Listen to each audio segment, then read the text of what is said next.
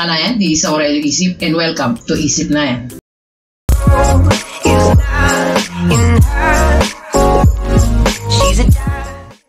So our topic for today no, is a part 2 involving uh, problem solving no, involving the factors of polynomial. So this time naman, ang tatalakayin natin yung mga topics na the difference of two cubes and then the perfect square trinomial. Factor ng perfect square trinomial. Hanap tayo ng problem solving involving dyan sa dalawang topic na So, has an area of 8x cubed minus 125 now square meters. So, find the length if the width is 4x squared plus 10x plus 25. So, alam naman natin, no, na getting the area is length times width. So, ito ang getting the area of the door, no, yung rectangle yan. So, ngayon, ang given dito is the area. Area natin dito ay uh, 8x cubed minus 125. So, this is the difference of two cubes. No, paano tayo nagpa-factor niyan? So, dahil ang width, no, ang binigay na given width is 4x squared uh, plus 10x plus 25 meters. So, hanapin natin dito, no? Hanapin natin dito is the length. So, parang ang length ay the area. So, lalagyan natin dito. So, the area which is the 8x cubed minus 125 is equivalent to the length L no, times the width. So, yan in times natin yung 4x squared sorry, x to, no? plus 10x plus 25. No? So, yung length ang hinahanap natin. So, paano ba tayo nagpa-factor ulit no? ng difference of 2 cubes? So, i-cube root natin yung first term tsaka yung last term. So, pag cube root natin yan, so cube root of 8x cube. So, ano yung number na minultiply mo ng tatlong beses at 8 ang lalabas? Yan ay 2. Then din yung x. x times x times x, x cube, no? So, i-cube root natin. So, that is x. So, 2x. Yung 125 naman, no? Cube root of 125. So, yan ay 5, no? Kasi, 5 times 5, 25 times 5 is 125. Ang cube root nun is 5. So, ano mangyayari dyan, no? So, ang gagawin natin dyan, yan yung soap natin, no? Yung SOAP na pinag-aralan natin nakaraan. So, itong 2x, itong factor nito, ang factor nito, so equals to. So, equals natin dito, no? So, ang factor nito ngayon ay 2x minus 5 2x minus 5 uh, back, back in minus no 2x minus 5 kasi minus to so 2x minus 5 then the ang factor nito ay 4 dahil 2x i-squared natin no? Squared natin yung 2x yan ay 4x squared then negative 5 times 2 is negative 10x then additive inverse no? Magiging plus 10x parang ito na yan, no? Then, negative 5 times negative 5, i-square natin yan, plus 25. So, ibig sabihin, kung ito yung width natin, no? Ito yung width natin, ito yung length, so ibig sabihin, no? Therefore, yung length natin is the 2x minus 5, which is the factor of this uh, cube, no? Okay, no? So, let's go to example number 2. Let's go to example number 2. So sabi rito, the base of parallelogram is 3x plus 4.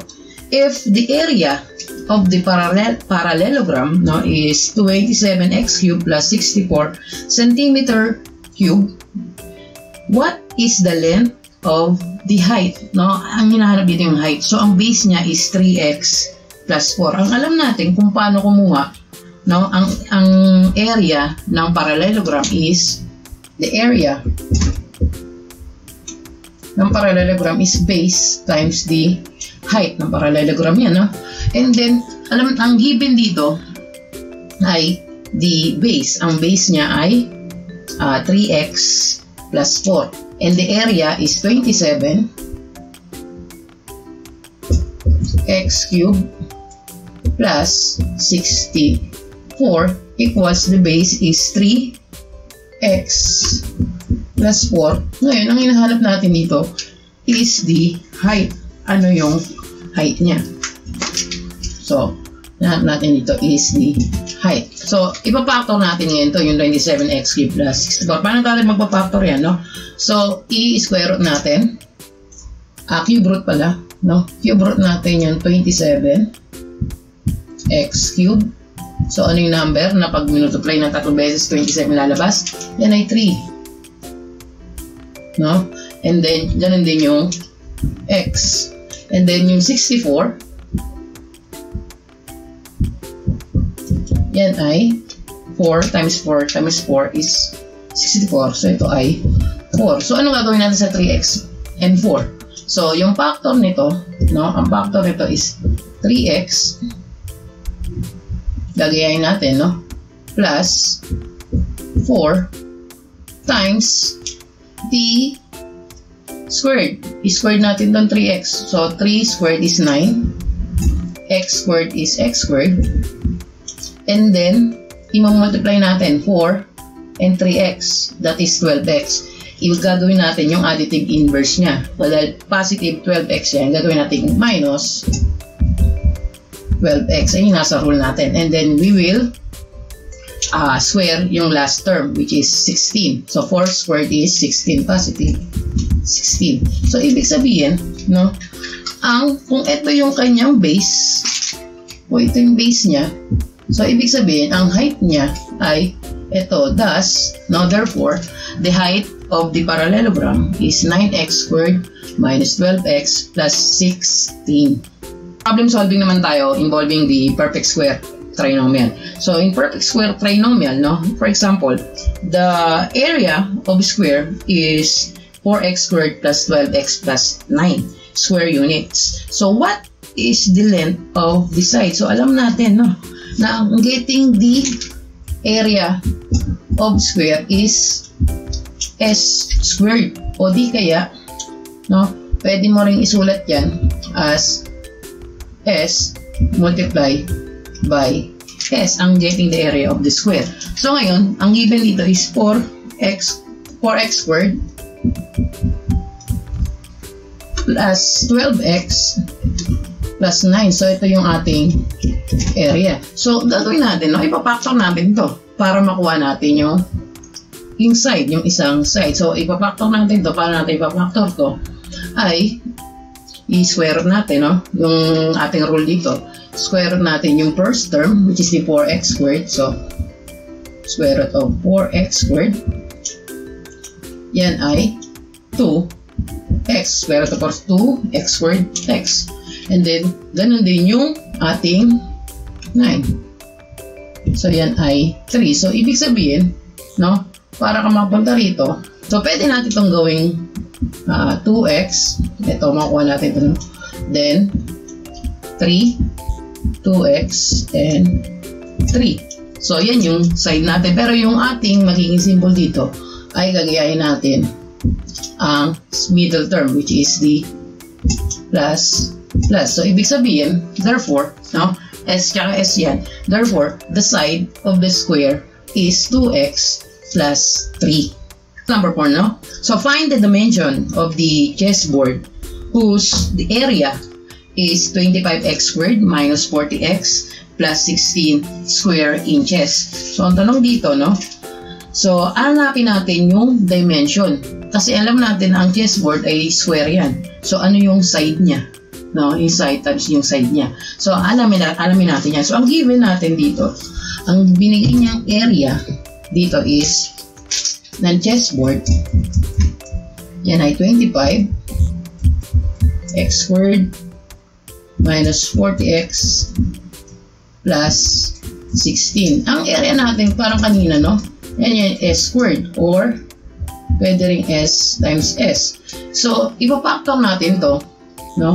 Para makuha natin yung s. Paano ba ulit tayo napapactor? So, square natin yung 25 x squared, which is 5x, no? And then square root natin yung 16, which is 4. So, makakapunta tayo rito, no? So, the area is the area of the chessboard, no? S times S. So, yan ay 5x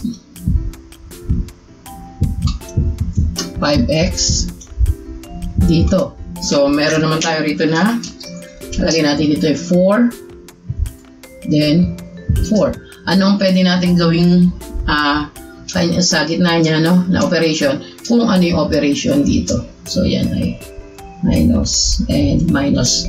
Therefore, the dimension of the chessboard is 5x minus 4 by 5x minus 4 inches. No? So that's all. No? So sana may natutunan kayo. Don't forget to like, share, and subscribe. And then, don't forget to hit the notification bell no? para naman lagi kang updated sa mga videos ko. No? So that's all. No? Good luck, soldier!